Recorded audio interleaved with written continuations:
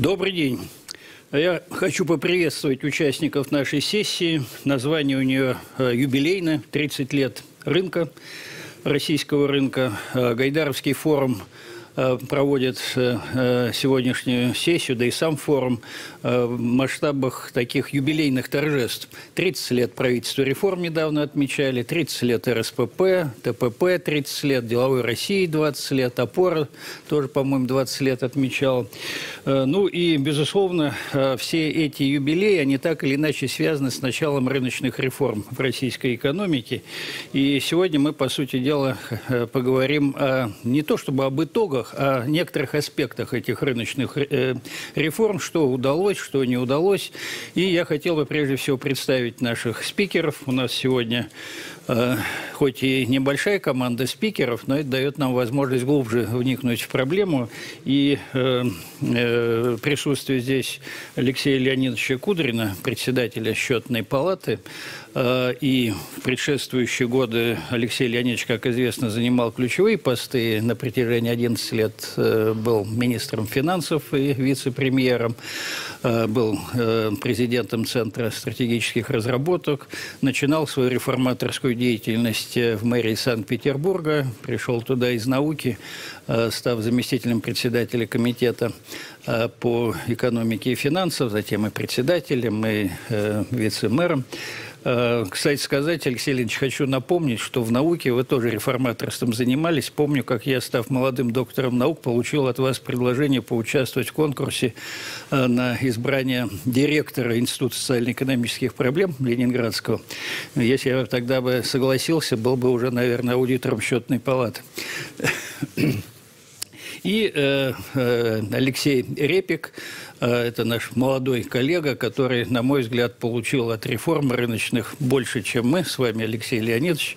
Он успешный предприниматель, уже многие годы руководит объединением э, среднего и малого предпринимательства «Деловая Россия». И, безусловно, у нас э, такой состав участников. Ну, кстати, про себя я тоже могу два слова сказать, что я был в первом правительстве реформы, тоже несу свою э, долю и ответственности, и разделяю в том числе и и позитивные результаты эти, этих реформ вместе с вами. Поэтому у нас будет возможность обсудить разные аспекты этой э, истории, современной экономической истории России. Напомню, что 2 января 1992 года произошла либерализация цен, которая была объявлена, к сожалению, чуть раньше, 28 октября. Президент Ельцин порадовал съезд народных депутатов тем, что э, с начала 1992 года цены будут э, либерализованы, и в итоге у нас полки опустили, и декабрь был довольно тяжелым месяцем, и в Ленинграде, в Санкт-Петербурге это тоже чувствовалось. Э, в конце января был подписан указ о свободе торговли, и э, другие, в том числе социальные, кстати, аспекты реформ не были забыты.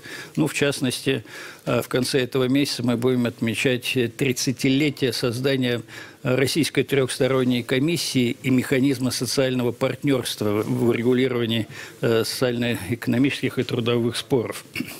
Ну, затем происходили и другие события. Десять лет назад Россия вступила во Всемирную торговую организацию.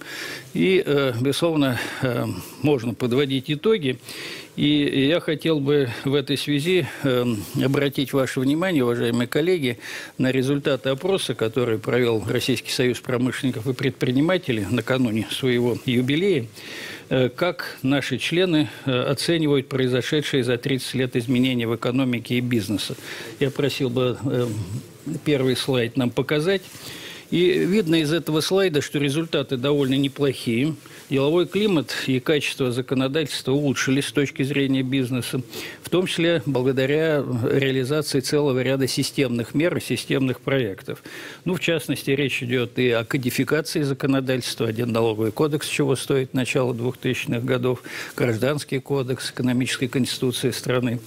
А, кроме того, были реализованы такие проекты, как национальная предпринимательская инициатива, в реализации которой участвовали все ведущие бизнес-объединения, был реализован проект под названием «Регуляторная гильотина», когда избыточные обязательные требования для бизнеса и советские архаичные требования были устранены, и выстраивается новая система формирования этих требований, и тоже с участием бизнеса это происходит.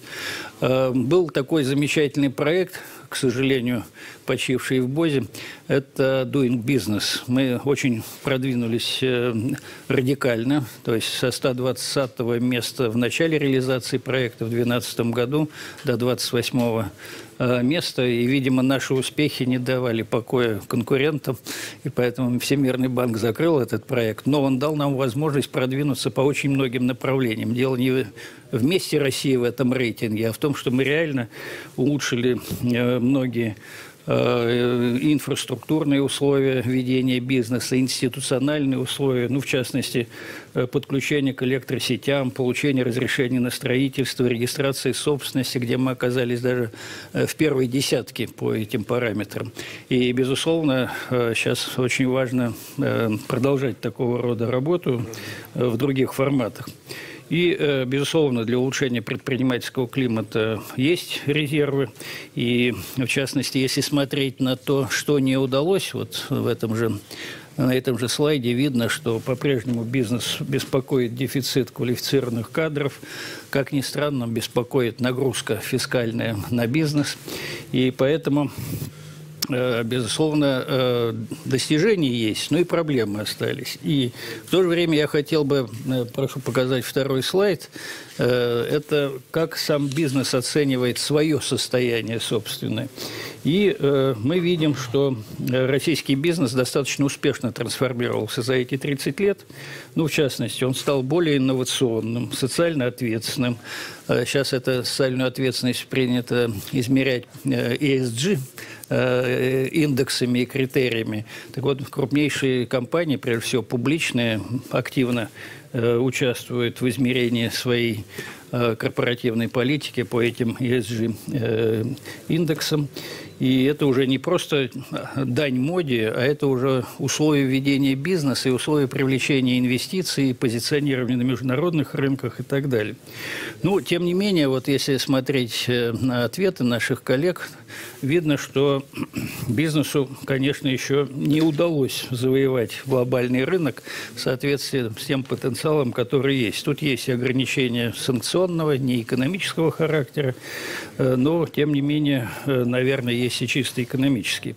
Алексей Леонидович, я вот хотел э, задать вам такой вопрос, что почему, несмотря на позитивные изменения по оценке самого бизнеса в деловой среде и достаточно динамичном развитии э, компаний, нет, и крупных, и средних компаний, и малого бизнеса, остаются нерешенными проблемами, о которых вы еще говорили в разных своих ипостасях, и э, вице-премьер, и председатель счетной палаты, и центр руководитель Центра стратегических разработок, когда мы программу готовили, которая, кстати, а где она, эта программа, которую вы готовили?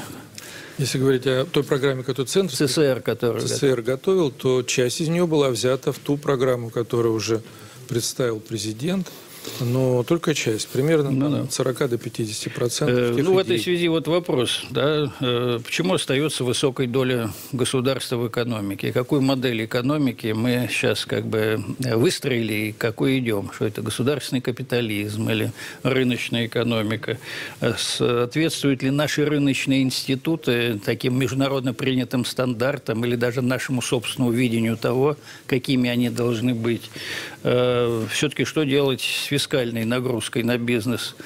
Когда вы были министром финансов, может быть, у вас одна была позиция. Сейчас вы как более независимый в оценках э, экономической, финансовой, фискальной политики, может быть, другие коррективы, э, так сказать, готовы внести э, в оценку этой политики. Ну и главное, насколько вы считаете, остается предсказуемой принимаемые государством решения, экономические решения прежде всего, и что, в принципе, надо сделать для того, чтобы через некоторое время сказать, что реформы, начатые 30 лет назад, проходят настолько успешно, что можно как говорится, оценить их по гамбургскому счету высокой оценкой. спасибо, Александр. Ну, во-первых, я хочу э, тоже отметить, что вы были э, вице-премьером в первом правительстве Егора э, Тимуровича Гайдара. Э, вы начинали, и мне кажется, это был такой э, правильный, э, правильный период, когда реформы все-таки начались. Э, десятилетия разговоров о них, от косыгинских реформ, э, в совершенствовании хозяйственного механизма в конце 70-х, которые ничего не решили, все-таки перешли к реальным реформам. Если говорить об итогах 30 лет, я вот все-таки вот несколько слов об этом скажу, потому что все вопросы, которые вы задали, это коротенько минут на 40 все ответить. Только можно. Да. Вот, да, я все-таки буду тезисно. Если все-таки начать с итогов 30 лет, э, то вообще наша экономика перешла от полностью плановой всей полностью государственной собственностью и устанавливаемым государством ценами все-таки к рыночной экономике. Вот мне кажется, этот переход произошел. Мы сегодня имеем базовые институты рынка. У нас есть цены, которые устанавливаются на рынке, у нас есть кон контрактная как бы, практика, э, у нас все-таки есть свобода предпринимательства, поэтому э, мы восстановили себя в, системе цивилизованных рыночных государств. Кстати, я думал, когда у нас рынок прекратился, э, все-таки он у нас был э, в дореволюционное время, наверное, можно считать конец 20-х, э, кстати, в начале 20-х годов прошлого века у нас еще и рубль был конвертируем, кстати. Но э, к концу 20-х это все было утрачено, когда началась продразверстка, когда уже никого не спрашивали о ценах, и тем самым э, рынок оставался только в очень небольших низких, там Торксин, разные маленькие лавочки э, еще какое-то время существовали. Но, вы знаете, я в 70-е жил, я не помню, в общем-то, частного сектора практически, за исключением ну, маленьких, там, совсем отдельный, отдельных лавочек кооперативов, э, это э, не считается. Так вот, все-таки мы восстановили э, рыночную экономику. Это первый главный результат, причем это произошло вполне ну, спокойно. Если говорить о тех 30 годах, опять же, то каждое десятилетие – из этих 30 внесло свой определенный вклад. Конечно, первые 10 лет э, ВВП у нас в стране упал на э, 30%, а доходы населения на 50%. Это, конечно, был серьезный удар. Все мы говорим про сложные 90-е, но Именно в этот период страна переходила к новой структуре экономики. От производства военной продукции, от производства средств производства, как мы тогда называли, станков, мы лили больше всего стали в мире – Э, и чугуна. Но э, мы, в общем, перешли, наконец, к экономике, ориентированной на реальные потребности, на рынок. Наконец, началось рыночное ценообразование. К сожалению, институты и законы запаздывали, потому что приходилось принимать решения э, в э, более э, оперативно. Ну, я скажу еще одну вещь. Все-таки, когда Гайдар поднимал цены, и они сегодня обсуждаются, он имел уже в этот момент полностью не существовавшую плановую систему, то есть план, госплан, который должен был балансировать спрос предложения, прекратил свое существование, и в том числе в результате э, развала СССР, когда все кооперации и предпри... предприятия прекратили работу. В этом смысле, конечно, другого пути, как восстановить роль э, рубля как меры стоимости э, и э, средства там, обмена не, не удавалось. В общем, никакого постепенного механизма там не было. Но теперь вот я напомню, что, что же произошло дальше. Вот уже с 2000 года до 2011, вот как раз когда я был вице-премьером, у нас ВВП вырос на 67%. У нас средний темп роста был выше 5%, выше темпов мирового роста, что является нашей сейчас тоже важной целью. А, жизненный уровень вырос э, почти в три раза, уровень жизни вообще исторический момент. За 10 лет уровень жизни почти в три раза вырос, ну, к сожалению, после высокого падения, большого падения в нулевые. Но сейчас вот темпы роста последнего десятилетия были более умеренные. Подведу итог. За 30 лет ВВП России сейчас на 33% выше, чем в 1991 году в период, ну, последний год до либерализации, до реформ, а уровень жизни тоже на 30% выше, чем э, тогда, вот в те годы. Э, в этом связи только еще раз отмечу, что где-то примерно в 2003-2004, я как министр тогда отслеживал, мы перешли уровень жизни э, среднего учителя, врача, э, ну, вот советский, советского периода. То есть мы восстановили к 2003-2004 году уровень жизни и пошли дальше. Там, опять же, были и кризисы, но, в общем, сегодня мы э, живем лучше. Но я, конечно, должен всегда оговариваться, средние цифры в наше время имеют э, из, изъян, потому что дифференциация уровня жизни и даже у врачей, и учителей тоже она существенная. Э, э, но еще одну, один результат 30-летия назову. Знаете, у нас в 90, в 90 примерно в 90 году в текущих ценах ВВП страны России был полтриллиона долларов в текущих ценах. А э, после кризиса 98-го, после девальвации, вы, я сейчас назову цифру, я сам пугаюсь, 195 миллиардов был э, ВВП страны в текущих ценах. Сегодня это по, примерно полтора триллиона, но правильно считать паритет, э, цифру паритета покупательной способности. В 90-м году это был триллион 180 миллиардов долларов. Сейчас это 4 триллиона 100. То есть рост почти в 4 раза, а, причем устойчиво. Мы за эти 30 лет нарастили а, ВВП в э, долларовом выражении. Кстати сказать, э, экономисты отмечают, исторически в, Совет, в России, в истории России не было такого периода, когда мы наращивали вот свой ВВП вот в валютном выражении.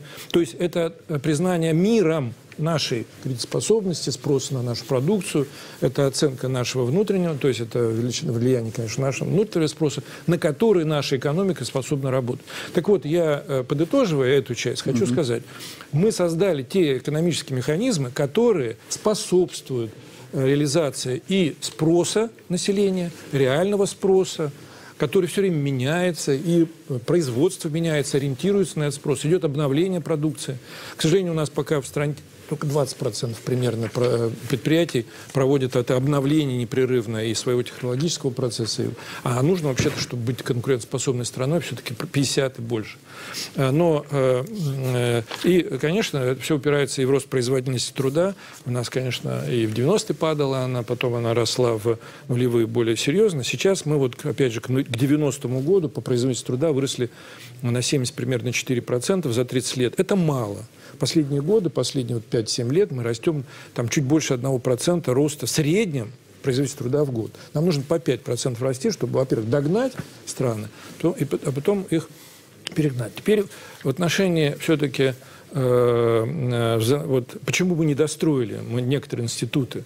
Почему, вот, э, ну, вы сами назвали доля государства в экономике. Конечно, доля государства в экономике сегодня, на мой взгляд, это сдерживающий экономический рост фактор. Потому что это не дает простору вот тем самым предпринимательским возможностям, э, быстрому переключению спроса на лучшую продукцию или продукция там, частного сектора не всегда может свободно конкурировать Э, на рынке, потому что некоторые сектора и ниши заняты государственными компаниями, которые имеют не больше, больше немножко преференций, больше доступа к государственным ресурсам э, и э, тем государственным, в том числе, заказу.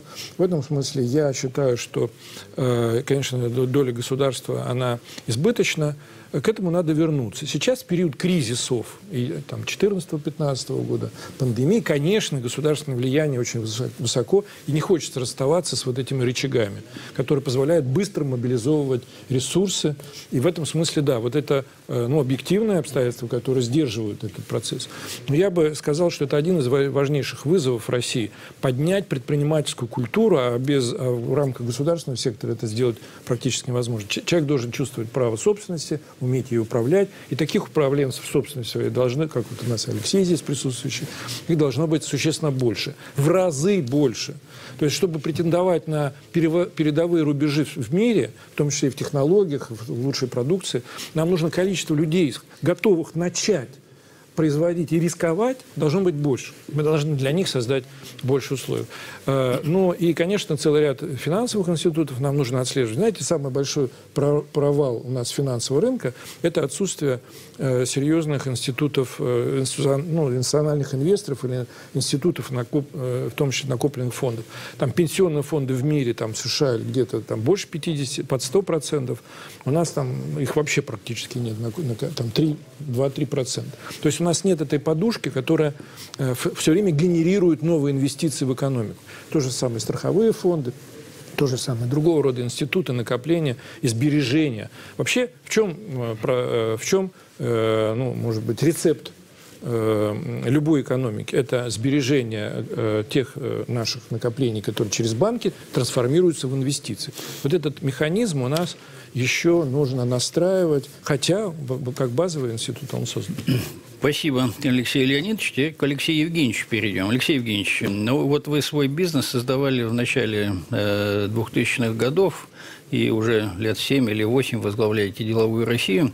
Вот с точки зрения, э, у вас компания быстро растущая, я даже не знаю, так сказать, каким термином ее определить, средний это бизнес, газель это там, или носорог уже, так сказать. Э, ну и вы проходили вот эти стадии, когда и бурный рост был в начале нулевых, и потом как бы возникли кризисные ситуации, 8-9 год, 14-15, пандемийные и так далее. Вообще вот э, применительно к среднему и малому бизнесу, коль скоро э, деловая Россия э, патронирует эти виды экономической активности, э, вот условия ведения бизнеса позволяют развиваться, в том числе в технологическом, высокотехнологическом секторе, фармацевтика, которая относится к Airfarm, безусловно, это высокотехнологичный вид бизнеса, э, тем более в условиях пандемии, так сказать, э, важно завоевывать и лидерские позиции, выходить на международные площадки. Вот условия для такого рода технологического развития, встраивания в цепочки – добавленной стоимости, в том числе зарубежными партнерами и так далее. Вот они созданы э, сейчас? Эм, спасибо за такую характеристику индустриального носорога. Я уж не знаю среднего. Носороги, они в своей системе классификаторов. Эм, ну, я, во-первых, хотел бы сказать сначала, почему в 2000-е, а почему все-таки не в 90-е. А, ну, понятная причина, что в школе трудно делать бизнес даже сейчас. А, и тем не менее, все равно, конечно, разница между запуском проекта в 2000-е и в 90-е, она драматическая. Я не знаю, когда лучше. Но просто 90-е – это годы флебустьерской экономики. С колоссальной отдачей на усилия и с огромным риском. Совершенно неописуемым риском. В том числе криминального характера, эм, скажем, энтропийного характера. То есть все это не позволяет говорить о, ну, скажем, цивилизованном э, инвестиционном процессе в принципе, хотя э, надо понимать, что те компании и те предприятия, и те предприниматели, которые за счет своей харизмы, воли в себе, веры в себя, воли, воли к движению вперед что-то сделали, на самом деле они оказались жизнеспособны в первую очередь за счет, еще раз говорю, личности и роли личности в, этой, в этом процессе. Правда, надо признать, что 90-е охарактеризовались не только становлением а, нового, нового рынка, но и формированием вот этого разрыва между а, такими советскими представлениями о справедливости и вознаграждении за там, такой честный, а, кропотливый труд и тем, что получилось по факту. И это на самом деле та, в общем-то, проблема в отношении к бизнесу. Сейчас не со стороны власти, не со стороны государства, со стороны общества, которую ну, мы с вами, и в первую очередь, наверное, здесь коллеги именно в большей степени РСПП, представляющие интересы крупного, крупнейшего бизнеса, постоянно решают, в том числе внедряя программы социальной ответственности, пытаясь объяснить, э, э, собственно, а зачем работодатель нужен и как работодатель положительно влияет на жизнь человека. Но вот еще раз, ставки входа в бизнес они, может быть, чуть снизились, риски они подсократились, но и доходность с ними сократилась, сократилась достаточно серьезно. И для того, чтобы ее обеспечивать, необходим, необходимо создание индивидуального, уникального продукта, нужны инновации. А вот если говорить про мою оценку провалов того, что происходило за последние 20 лет, ну, конечно, надо понимать, что инновационное развитие у нас на сегодняшний момент э, совершенно не там находится, где должно было бы быть. Инвестиции в R&D у нас по-прежнему где-то в районе 1, там 1,1, 1,2% от валового внутреннего продукта, о чем говорил Алексей Леонидович. И, и в значительной степени, конечно, причина этого и не созданная система внятно фондового рынка и доступа к финансовым ресурсам долгосрочным, на которых, в общем, на которых зиждется технологический успех ряд наших стран-конкурентов. А, а мы понимаем, что даже с учетом того, что наша биржа работает, фрифлоут в России – ну, в среднем, даже у крупных компаний, сколько там, 30% в среднем, да, при том, что на всех приличных э, таких площадках это в среднем 80-95. И, в общем поэтому можно сказать, что мы пока финансируем свое развитие, свои инновации, свои продукты ну, за счет, условно, прибыли текущих периодов, а, что могут себе позволить немного. Ну, даже статистика показывает, что 60% инвестиций – это собственные средства Совершенно компании. Точно. Теперь, если говорить о том, все-таки отнестись к вашему заходу, чем занимается деловая Россия, что такое средний бизнес, я вообще могу сказать, что средний бизнес, э, это мне, я всегда открещивался, потому что мне кажется, что усреднение это как-то противоречит идеологии предпринимательства своей, ну, необычностью и своей особенностью. Но, тем не менее, средний бизнес, конечно, сирота. Это совершенно очевидно. Потому что вот у нас есть, безусловно, отстроенная, и особенно отстроенная в последние там, годы, э, мер, там, система мер поддержки малого. И вот малого и среднего бизнеса. При этом этот средний бизнес, он на самом деле тот же малый, просто чуть-чуть больше по количественным характеристикам, чем, чем средний. Э, чем, малый, собственно. Да? Вот это вот так, так называемые компании до 2 миллиардов, они имеют на сегодняшний момент ну, достаточно большой набор э, возможностей до этой точки дорасти. Есть, конечно, компании, ну, топ, там, топ-200 частных, это 50 миллиардов и выше, или топ-500 всего, из которых в районе 100 государственных, э, у которых там получается ну, 25 миллиардов и выше. Эти компании, они имеют свои меры поддержки, там можно вспоминать СЗПК, СПИК и все остальное. Но самое главное, что они могут дойти до лиц, принимающих решения, их там услышат, они узнаваемые, их лица, в общем, более-менее понятны. А, и им не так страшно. А вот все, кто между ними, это какой-то вот потерянный сегмент. То есть вот почему стремятся от малого бизнеса стать ну, плюс-минус средним во всем мире? Да чтобы как раз получить доступ к тем самым деньгам фондового рынка, чтобы получить возможность капитализировать свой, свой первичный успех – а у нас этого нет. И поэтому, а, в общем, собственно, сопряжение ужа и ежа, попытка не жаловаться, что мы маленькие и беззащитные, но в то же время понимание, создать понимание, что мы не обладаем как бы теми ресурсами, которые есть у, там, условно, у 500 лучших, крупнейших компаний российской экономики, это вопрос, который для деловой России и для наших компаний стоит ну, более чем актуально. Что хочется сделать и что хочется исправить? В этом плане, конечно, э, вопрос госкапитализма вы задали не просто так, я уверен, Александр Николаевич, и понимаю, что... Я понимаю, почему это происходит. Я с этим, в общем-то, согласен, потому что когда, ну, знаете, бизнес не, не сопрягает себя, не перестает соотносить свое будущее с будущим страны, то обычно приводит там, к 7 ноября, к революции, к НЭПу. А, а самое главное, как первым шаг государство начинает думать, так, раз повестка не лайнд, надо мобилизовывать ресурсы, мобилизовывать ресурсы проще через большую управляемость, через, соответственно, государственную экономику. И все. И это как бы режим контроля и мобилизации, госэкономика и э, малая возможность реализовать свои предпринимательские инициативы, потому что они ну, скажем, менее управляемые и менее предсказуемые. Но вот поэтому, на самом деле, конечно, и на себя надо внимательно смотреть. И в этой части э, новая структура экономики, она будет формироваться, когда будет расти вот как раз тот самый сегмент выпавший бизнеса, который уже не малый, но еще и не там капитаны э, или адмиралы индустрий, э, из первых, из первых там 200-500 крупнейших компаний.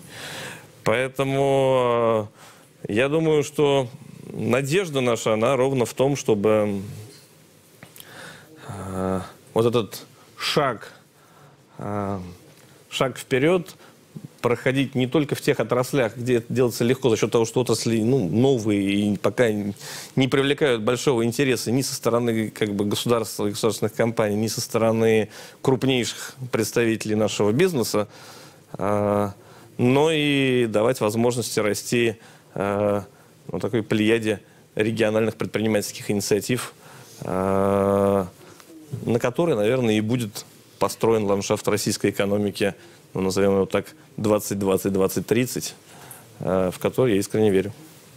Спасибо. Э, я хотел бы показать еще один слайд, э, третий слайд из моей презентации. Он касается механизма взаимодействия бизнеса и власти. И там показана как раз динамика отношений бизнеса и власти за 30 лет. И, безусловно, вот наши опросы это подтверждают, наши форумы, съезды подтверждают, что очень большое значение имеет вот эффективность диалога бизнеса и власти для принятия эффективных решений для развития рынка, для развития экономики и так далее. С одной стороны, э, многие механизмы, институциональные формализованные механизмы, которые можно было бы назвать цивилизованным лоббизмом бизнеса и таким же цивилизованным учетом интересов бизнеса при принятии решения, ну, является, например, оценка регулирующего воздействия, который тоже уже, по-моему, лет 15, где-то в восьмом году, по-моему, мы подписали с Минэкономразвития соглашение об этом механизме.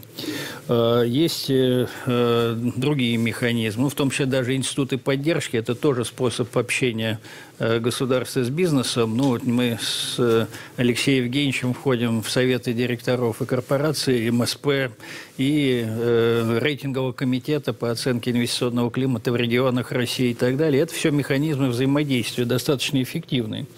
Э, цифровизация в последнее время тоже стала таким инструментом.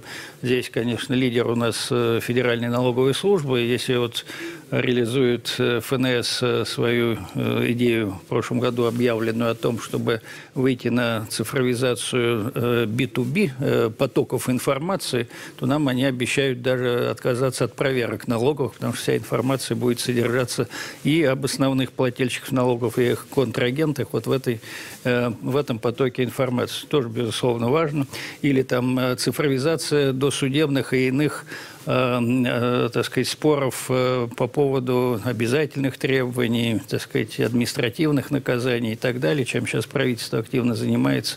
Поэтому тут действительно выстраивается это технология. Но, с другой стороны, многие чувствительные для бизнеса вопросы по-прежнему иногда принимают, что называется, с колес. Понимаем, что ситуация Э, сейчас так меняется достаточно быстро, конъюнктура и мировая, и ковидная ситуация, и э, конъюнктура мировых цен требует принятия быстрых решений, но в то же время иногда мы видим, что Э, когда формальные институты типа оценки регулирующего воздействия нельзя использовать, э, наши федеральные органы принимают решение вообще там не консультироваться с бизнесом, и мы часто как бы уже в рамках внесенных законопроектов э, или во втором чтении пытаемся как бы найти компромисс. Причем находим его, как правило, но тем не менее, так сказать, такие технологии, как, скажем, ссылка на поручение президента, когда надо, как говорится, завтра уже внести проект постановления правительства или проект закона и так далее, часто являются основанием для того, чтобы бизнес поставить перед фактом, что называется. Э, ну, в частности, это означает, что, ну, э, я не буду приводить подробные примеры, но вот все решения прошлогодние, и позапрошлогодние по поводу НДПИ для сырьевиков, экспортеров, они принимались именно таким образом. Хорошо, что находили в последний момент механизмы ну, скажем так, неформальных консультаций, когда и председатель правительства, и первый вице-премьер, министры проводили совещания с участием бизнеса и находили какие-то развилки, компромиссы и так далее. Ну, вот э, в этой связи у меня вопрос, э, Алексей Леонидович. Э, вот общественная палата тоже является таким уже институтом оценки всех принимаемых решений. Если вначале... Счетная палата, а не общественная. Ты оговорился. Я оговорился. Счетная палата, благодаря тому, что вы ее возглавили, расширила зону своего участия в принятии решений, в оценке эффективности этих решений. Это не только там бюджет, не только, так сказать, Э, эффективность использования целевого характера этих средств, ну и те же госпрограммы и так далее. И мне кажется, что это довольно эффективный тоже механизм. Вот э, с точки зрения и роли э, счетной палаты, и с точки зрения эффективности других институтов взаимодействия с э, правительством, ну, с Центральным банком особая статья, как взаимодействие налаживать. Но, тем не менее, вот есть тут резервы для того, чтобы решения принимались именно такие, которые служат интересам ну, не столько бизнеса, сколько одновременно и бизнеса, и государства, и населения, и граждан. Вот надо что-то здесь менять, или уже мы выстроили почти все, и только тюнингом заниматься. Э, Александр, э, ты э, уже почти назвал ответ. Как раз ты высказал беспокойство и ощущение недостатка вот этой обратной связи, mm-hmm. очень быстро принимаемых решений, игнорирование регулирующего воздействия вот, э, оценки регулирующего воздействия всех законов и принимаемых государственных решений, я, к сожалению, вынужден сказать, что вот, оценка регулирующего воздействия часто носит формальный характер. И действительно, когда решение принципиально принято, принято оно, оно или формально, повторяю, или игнорируется, просто даже когда оно называет реальные риски. Вот. Счетная палата действительно в соответствии с действующим законом и вообще мировой Э, мировым трендам, тенденции, вообще не только чисто расходы проверяет и достоверность бюджетной отчетности. А счетная палата, э, как раз э, создаваясь двумя палатами парламента, оценивает выполнение госпрограмм целей госпрограмм. Вообще-то я вот когда был министром, мы бюджет переверстали из просто функциональных статей, там, образование, здравоохранение, оборона, в Э, э, в структуру госпрограмм, потому что деньги должны достигать какой-то цели. Они вообще ради этого. И вообще-то оценка э, эффективности – это оценка того, насколько вот эта копейка повлияла на конечный результат. Вообще, повлияла она или нет? Может быть, там столько денег потратили, а результат-то и не увеличился. Кстати, часто, зачастую так и происходит, что мы там ставим достаточно амбициозные цели, но их не достигаем. Поэтому сегодня вот именно это надо оценивать. А, и то, что нас президент поддержал, э, нас парламент сейчас поддерживает в части того, чтобы мы больше выдавали такого рода э, оценок э, или наших экспертно-аналитических мероприятий проверочных, это как раз тоже шаг к тому, чтобы оценивать, а что же нам мешает на этом пути. Вот сегодня, знаете, хотел напомнить, что у нас сегодня день печати вообще-то. Я поздравляю всех и представителей средств массовой информации, поздравляю издателей, все, кто с этой А я думал, связан. Старый Новый год сегодня ночью. А, ну, сначала мы отмечим День печати. Вот. А, поэтому, а, вообще-то, это важнейшая обратная связь общества и правительства. Вообще-то, это главное, что делает правительство всегда эффективным, быстро реагирующим на задачи общества. Вот эти связи должны работать. Свобода слова, вообще-то, и Конституция гарантирована, и она, собственно, ре реализуется через институты э, средств массовой информации, которые должны тоже регулироваться, должны быть определенные правила, но, безусловно, э, вот этот институт важнейший. То же самое общественная экспертиза, вот те общественная палата, другие э, общественные организации, которые в своих сферах ведут независимый э, э, мониторинг или экспертизу этих вопросов. Это сегодня стало серьезнейшим ресурсом вообще повышения эффективности работы госвласти. В этой связи я думаю, что вот такие институты обратной связи, ну, безусловно, политическая система, она сама по себе такой является институцией, э, должны обеспечивать, чтобы э, задачи бизнеса были более четко ну, вот, э, оценены, определялись. Потому что вот не чтобы это как спонтанно была вот эта встреча с председателем правительства и э, реагирование на запросы, а чтобы это был постоянный действующий механизм. Кстати, они действуют, эти механизмы. Мы, собственно, и создавали их еще нулевые. Вот э, я думаю, что у нас есть большой ресурс, резерв улучшения вот этой связи общества и государства через институты открытости – и я бы назвал теперь там целую институцию подотчетности. Это целая система мер, который, которая делает государство и исполнительная власть подотчетной вот как раз через разные эти механизмы. СМИ, общественные организации, проф, э, профессиональные организации. Вот. И такие общественные организации, как РСПП и Деловая Россия, которые, я считаю, решающую роль играют в улучшении инвестиционного климата. Вот Спасибо. вам бы надо Спасибо. больше будем, полномочий. Будем на... Спасибо за указание.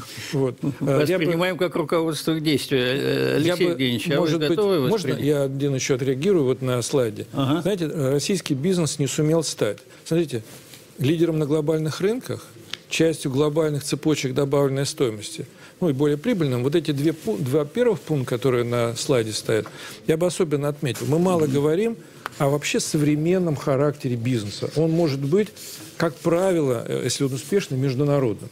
Ну, во-первых, потому что он участвует сам, э, пользуется любыми новыми э, компонентами, новыми значит, технологиями, которые созданы в мире.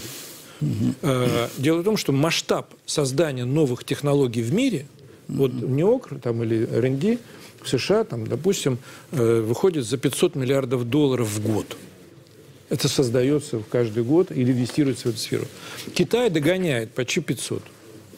Или уже догнал. А, а, допустим, ввиду страны Европы, там Германия, Франция, там больше 100 миллиардов каждый. Россия 40. Мы не сможем никогда создать ту цепочку э, или линейку технологий, которые будут в мире наиболее передовыми востребованными. Мы можем создать какой-то свой сегмент и участвовать в этой цепочке добавленной стоимости, быть успешными, собрать на себя часть мирового спроса на какие-то товары, но мы должны пользоваться и достижениями других стран. Поэтому важнейшее свойство современного бизнеса – это э, участие ну, в экспорте и импорте само по себе, то есть использование, но и в цепочке, вот в этой где мы не создаем, может быть, обязательно конечный продукт, но мы создаем важнейшие его компоненты лучше у нас. У нас, кстати, есть такие примеры в России, которые э, имеют там 20-30% мирового рынка по производству каких-то товаров, каких-то вещей. Алексей Евгеньевич, чего не хватает в диалоге бизнеса и власти? Двумя словами, потому что мы к Двумя словами здесь трудно, но если говорить про диалог, он у нас распадается на две части. Первое – не трогайте нас, пожалуйста. Как мы сами как-нибудь справимся. Э, и это очень там большая разумная история, но на самом деле она вот э, те проблемы, которые говорил Алексей Леонидович, не лечит. То есть, по большому счету, конечно, сейчас государства ведут активную политику, все государства, по повышению конкурентоспособности своих компаний, своих экономик. К сожалению, у нас зачастую программы, за которыми, может быть, как раз и сейчас, где и наводится порядок, благодаря в том числе структуре, которую возглавляет Алексей Леонидович, это эффективность наших, наших усилий. Ну, смотрите, вот была программа там ФОД 2.0, 3.0, ее задача была сохранить занятость. Сохранили, сохранили. Понятно, рабочий механизм. Есть программы какие-нибудь поддержания промбезопасности на шахтах, там, ну, в основном, да, для угольщиков ну, трагические события показывают, что программа не работает. Вот у нас работает программа, не работает программа. Они живут как бы, ну, практически в параллели. Мы, конечно, должны свои ресурсы тратить эффективно и правильно ставить для себя целеполагание. Вот бизнес, он не очень умеет, потому что бизнес все-таки он думает в основном про себя. И вот не про большой бизнес, а каждая компания в отдельности. Государство должно воспользоваться своей позицией хеликоптер view, чтобы объяснить, почему нужно делать это и не делать это. Вот это есть смарт-регулирование. А диалог и оппонирование, ну, то есть работу как бы с, ну, ну, с этими программами бизнес и РСПП, и Деловая Россия на себя вполне и могут брать, и в состоянии. Так. Нам просто с вами нужно что-то как-то изменить, в, мне кажется, в голове чуть-чуть, э, я имею в виду, нам, предпринимателям. Вы считаете, что у нас разруха? Голова? Не, у нас, у нас не, разлух, не разруха, но мы э, слишком ушли в частность и зачастую забываем про контекст. А вот контекст э, – это то, что делает нашу работу более эффективной. И то, что позволяет в, в те периоды вызовов, как сейчас, ну, идти вперед э, более понятно, прогнозируемо, предсказуемо. Упасть не страшно. То, что ты упал, это не значит, что ты идешь не в правильном направлении. Это как наши китайские товарищи Ну, а говорят. а если упал, очнулся гипс? Если упал, очнулся гипс, э, с гипсом э, у нас э, для коллег, людей с ограниченной мобильностью, слава богу, качество ну, жизни повысилось. Коллеги, у меня время нам подсказывают ограничено. У меня будет один вопрос для вас обоих, один и тот же.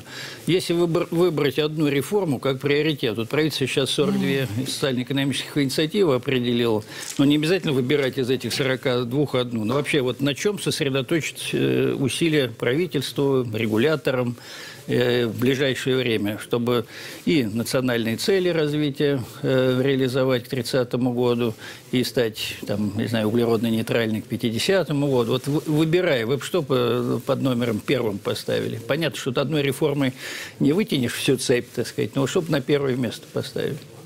Ну, если бы я отвечал, то э, все в ближайшее время определит образование. Вообще качество образования, обучения с э, детских лет, э, компетенции, навыки, умение работать в быстро меняющиеся рынки. Мы э, там потер... половину профессий через 30 лет потеряем нынешних. Вот.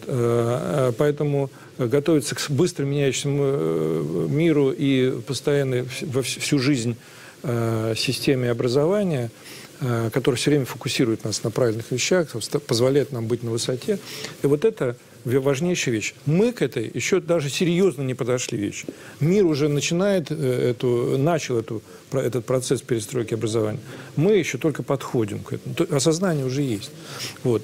Э, но это все, на все влияет. На качество госуправления, на качество предпринимательства, на качество э, технологий, инноваций у нас в стране. Оно является определяющим. Про долю госсектора и качество развития предпринимательства, само собой, я уже сказал, потому что без этого не возникнет тот спрос на те компетенции, которые я сказал, которые должны воспитываться.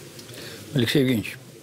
У меня философский ответ. Конечно, инвестиции в человека, несомненно, да, и здрав, и обр, и среда обитания, но первое, что нужно сделать, это, еще раз хочу сказать, изменение подходов э, от сохранительных презервистских все-таки к подходам, связанным с развитием и с появлением, ну, с открытием новых возможностей. А это право на ошибку. Право на ошибку везде. В бизнесе, в венчуре, в госуправлении. Потому что на сегодняшний момент, вот честно, самая страшная проблема, первая, в том, что половине изменений не нужны, потому что вроде как бы и так неплохо, и это касается представителей бизнеса, успешных, самых успешных, и представителей власти. А вторая проблема в том, что тем, кому вроде бы и нужны, страшно, Потому что что-то не сделать не, ведь не только счетная палата приходит к тем, кто ошибается. Приходят и другие надзорные очень контрольные важно, органы. Очень важно, чтобы, находя ошибку, ее помогали исправлять, а не пытались выкосить э, серпом э, все вот только проросшие ростки перспективы. Ну, в прошлом году в одном из законов было прописано право на ошибку в венчурных инвестициях. Мы видим, чем дело кончилось. Ну, да, пока еще не кончилось. Пока но... не кончилось, но, но, но, но поверьте, кон контекст не тот, в котором, в котором хотелось бы это обсуждать. Коллеги, наш эфир подходит к концу. Э, мы бы еще могли поговорить э, достаточно долго. Тем действительно уже затронутых много для того, чтобы их развить. Еще много не затронуто. Э, но нам намекают на то, что в 12.00 нам, как говорится, отключат эфир. Мы можем поговорить и между собой, конечно. Но, оставаясь в эфире, я хотел бы сказать о том, что действительно за 30 лет многое сделано. И действительно, несмотря на ошибку, я думаю, что право на ошибку касается и тех, кто начинал реформы. И, естественно, ошибки эти были, и мы о них знаем. Их исправить, конечно, задним числом э, невозможно, но важно на собственном опыте учиться и не, не повторять эти этих ошибок. Кстати, одна из них – надо уметь объяснять людям, что мы делаем и как мы делаем. Вот Алексей Леонидович абсолютно прав. И здесь контакты со СМИ, вообще с социальными сетями очень важны для того, чтобы люди понимали, чего хочет власть. А, и, э, э, безусловно, хотелось бы, чтобы в наши э, так сказать, рэперные точки, 30-й год, 50-й год, мы могли, оглядываясь назад, э, сказать, что это десятилетие, так сказать, 20-х годов не потеряно, и что мы сумели сделать то, что, во-первых, было недоделано в предшествующие годы, а во-вторых, мы соответствовали вызовам времени. Потому что сейчас очень важно не отставать от тех вызовов времени, с которыми мы сталкиваемся. А их действительно очень много, и научно-технологическое развитие, цифровизация, э, отставание возможной системы образования, которая может привести к отставанию навсегда. Все это те вызовы, с которыми надо справиться в ближайшие годы, как минимум до 30 -го года. Я думаю, что с такими людьми, как Алексей Леонидович, Алексей Евгеньевич, такими организациями, как Счетная палата, Деловая Россия, РСПП, мы с этим справимся. Ну и, естественно, с нашим президентом и с нашим правительством. И РСПП, естественно. РСПП, да. Э, спасибо, уважаемые коллеги. Э, было очень интересно. Я думаю, еще на Гайдаровском форуме многие из затронутых тем будут так или иначе раскрываться нашими коллегами. Э, поэтому, прощаясь с нашими слушателями, мы не прощаемся с форумом. Спасибо. Всего хорошего.